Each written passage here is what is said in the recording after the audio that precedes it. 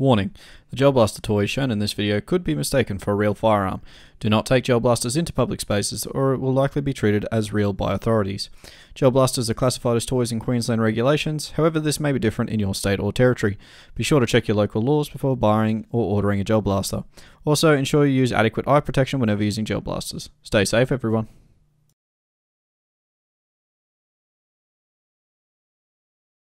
So, g'day, g'day, boys and girls. Welcome back to the studio for another Gel Blaster review. It's been a little while.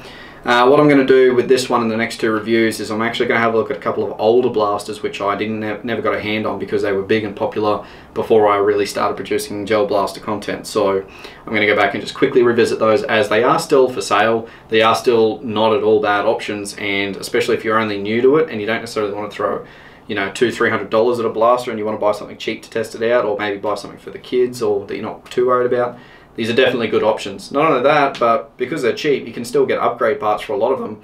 You can make them equally competitive to something brand new, if not better, for about the same cost in parts. So they're also good options if you are new and you want to look at potentially DIYing and learning that side of things. So without further ado, we'll jump into the first one, which is the Jinming M4A1 Gen 8 Gel Blaster rifle. Now this is probably the one which really got a lot of people going because it was it became a benchmark in a lot of cases for what others would be compared to. The Gen 9 started following along in a lot of the same ways. Uh, the ACR, at least for me, is definitely the same again. I definitely start comparing things to the ACR because it's one of my favorites. But this was one of the original big ones, uh, at least when the scene in Australia started blowing up. So the best thing is that Jinming haven't just left it the way it was because this was an incredibly plastic blaster at the time. What they've actually done in the last like year or so, even though they've had new models released, they have done subtle upgrades on this. The main one that you'll notice is that the receiver is now nylon. It used to be incredibly plastic, just like the Scar, which we'll look at in another video. Um, so it is nice that they've done that. They didn't need to, but they did. I'd like that they would have done other things, but I mean, you can't complain. That's not bad by any stretch. So without further ado, we will get into it. Now what I am going to do is I'm going to try the close cam by physically holding a GoPro this time. So that way I can get the angles that I want and lighting better. We'll see how that goes. Let me know what you think down below. If you think it's a good option, I might continue doing this until I eventually get something better set up where it's above and zoomed in. And yeah. Anyway, turn that on and we'll get into it. Lovely, lovely. Okay, so the first thing you will notice about this, like I mentioned, it is entirely plastic. There are nylon components, although nylon is a form of plastic, so please don't try and argue on that one because I really find it silly. But anyway, it is very lightweight. Um, this was definitely still a toy by comparison to some of the ones that come out recently, which definitely feel a bit more mature and a bit more uh, upgraded by comparison. They don't necessarily feel as much plastic and toyish, but this one definitely still does, all despite everything. So something there just to keep in mind. The other thing is, obviously, this is a very good base for upgrades, especially on the externals, because it is an M4. Um, so that's all personal preference. I prefer to move away from M4s because I find them somewhat boring because there's so many of them.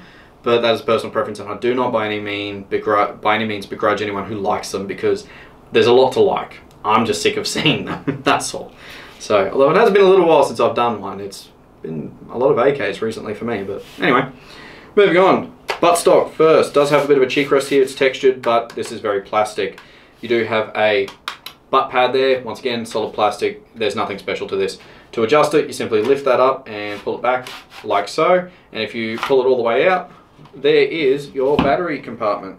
So I'll just show you that there. Battery compartment is contained within the buffer tube.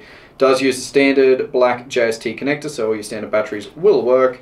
It does typically come with the stick style battery, which just pops into there just fine. You do need to be a bit careful with these when you put the buttstock back on, but it's usually pretty good.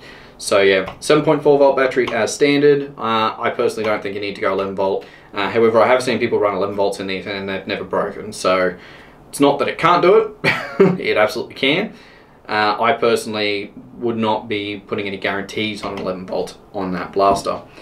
Put it back on, like I mentioned, just make sure all of your cords for your battery are in and secure so they're not going to get torn up when you attempt to slide it back onto the actual buttstock buffer tube and that's in and now locked in place so that's all good. Notice how I started at the back this time, not the front.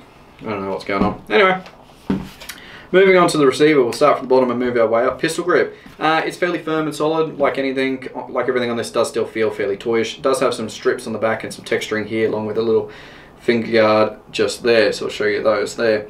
Moving further on up to the trigger, it is a plastic trigger. You do need to be careful with this. The trigger feels really dicky, like you feel like you're going to snap it when you fire, but I'm hoping that that's just this one and not all of them, because I did have one of these that was highly modified previously. It never worked properly, but it, the trigger didn't feel like that. So yeah, so moving further along, you do have the magazine, the magwell. I'll get to the magazine at the end. It is very plastic and fairly typical Jin style. That is your mag release button just there that you can see. And there's not really a whole lot on the right hand side. You do have that there, which would normally be the gas block. However, it's not nothing on this one pretty much. And the dust cover. The cool thing about the dust cover is when you pull back the charging handle, that will pop open so you can see your gearbox. It doesn't actually serve any purpose. But anyway, that little molding there is what would be a shell deflector. So when a shell comes out, it doesn't flick back and hit the person in the face. But again, gel blaster doesn't do anything. It's just there for show. Do have a rail up along the top of the blaster that you can see just here. And that's all along the top of the receiver. And just there you have your charging handle. I'll show you how to use that shortly. That top rail is not quite a monolithic rail because there is a break just there where the front handguard connects onto the receiver. So just something there to keep in mind. The front handguard does have all these holes which would normally be for venting and whatnot but they don't really serve a purpose on a gel blaster as you can expect However, if you have a look in there, you can see it is still a plastic barrel. This always had a plastic barrel and I doubt they're ever going to change that. It is a quad rail setup though on the front handguard, which is nice. You do have a little sling attachment point just here on the bottom of the front pillar sight. Oh, I'll turn that around. So a little iron sight there. There's no rear iron sight. However, this does come with a fake, very fake holo sight you can put on there if you want to. I don't like the look of it, but that's personal preference like anything. And then of course you got your outer barrel coming here and this little muzzle device which just literally slots on. There's no screws, nothing. It doesn't serve a purpose as you can expect and there's the end of your barrel. Whoop, just there. Let's see if we can turn that. Yeah, there you can see.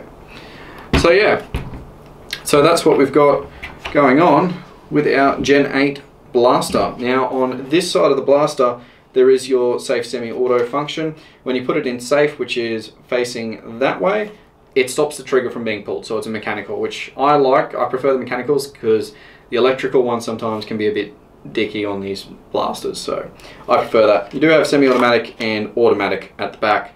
Now, automatic and semi-automatic, it's in a lot of cases with these, they don't really have a semi-automatic. It's just an automatic all the time. So most people don't bother with the semi, and I wouldn't bother with this one personally. You do have a little bolt, what would be a bolt release button there on a real one if you had the charging handle pulled back, but obviously does nothing on this. Charging handle, little clip on the side, put two fingers on, pull it down, and boom, there's your gearbox. Now here's the bit that is also quite surprising for those who might be interested. If you have a look at that gearbox, there used to be a clear plastic gearbox, however they've actually upgraded to a nylon Gen 8 gearbox casing. That is a nice upgrade by no stretch at all. Uh, that is definitely nice. Again, they didn't have to do it, but they did, which is nice. Um, the Gen 8 is quite a solid base for upgrades. It does pretty well. You can get some pretty good power and output out of it with somewhat minimal work.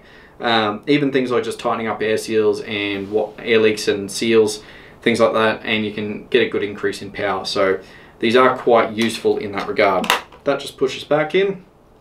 But yeah, by no means bad blaster despite its age. I mean, they still use Gen 8s or Gen 8 clones in a lot of blasters that come out nowadays. So it, that just tells you how useful it actually is. And because they've been around for so long, you can buy entire kits that can upgrade this entire thing, including the casing. So, not bad by any stretch. Anyway, magazine, fully black, also fully plastic. It is automatic as you can tell with the little terminals here so don't go tipping water in it. Motor it down the bottom, all of that jazz, make sure you clean it out. That's where your gels will actually feed out into the T-piece and you do have a little gel loading door in the back just there. So fairly straightforward, absolutely nothing special.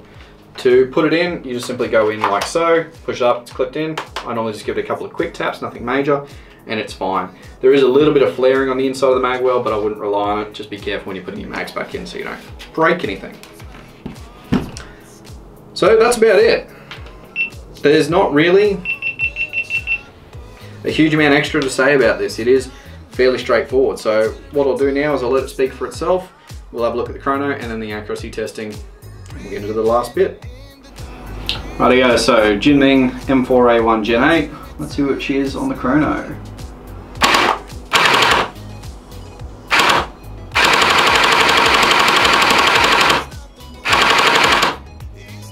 So we are getting the occasional low drop down to 190 or just high 180s, but we're still seeing an average of anywhere between 210 to 215 with the spiking up to 220 every now and then. So I'm going to say 210 FPS is your average on this one. Um, that's no not bad at all, all things considered, considering the age and whatnot of this. Uh, rounds per minute, 680. Fair enough, it's only a 7.4 battery, so at the end of the day, you're not expecting it to be a minigun, but it definitely does the job. And like anything with the 8, good base for upgrades. So yeah, head outside, check out the accuracy.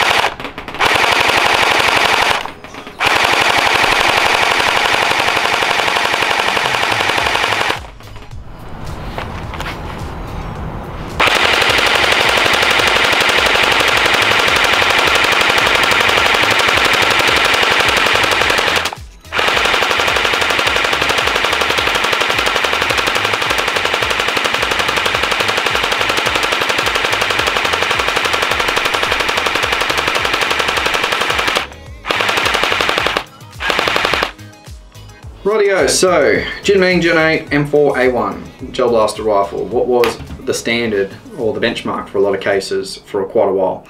What do I think of it?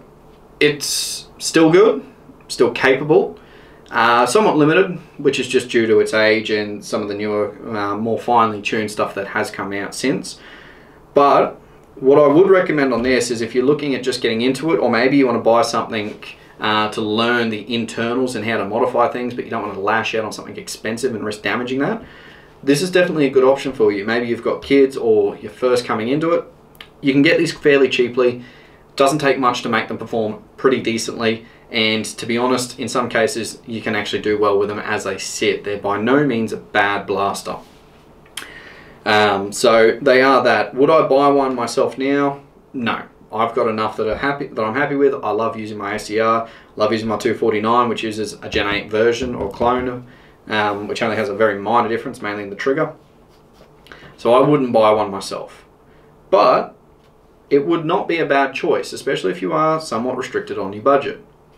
And, or wanting to learn how to do the modifications, because so many people pull them apart, it's fairly straightforward nowadays, and there's a lot of information you can find on how to do all that, which is very useful if you're new. Uh, kids, sure, why not? It does put out not a bad amount of FPS for what it is. Again, even by standards that we have, uh, some of the standards we still have today. So it's definitely a good option. Uh, if you're an experienced person and you're looking for something really good, like solid internals, solid externals, all of that, I wouldn't buy this. Um, I'd spend a bit more money and buy something more solid like an ACR uh, or some of the other more higher end models. Um, this one here, because it is still fairly lightweight and whatnot, I'd be very careful about falling on it and, or putting too much weight on it because it may actually break, and I have seen a couple of them break. Um, that's just the nature of the beast because of how they were built and their age. So they are, like I said, still very much toys by comparison to a lot of blasters. So you do need to take that into account. But yeah, by no means not by no means a bad blaster at all. It's still entirely capable. Uh, recommend accessories, standard fare, two extra magazines at least. I don't recommend going 11 volt battery because you'll get more life out of your gearbox and your magazines will last longer. So if you're hitting them, you don't need to put out more gels.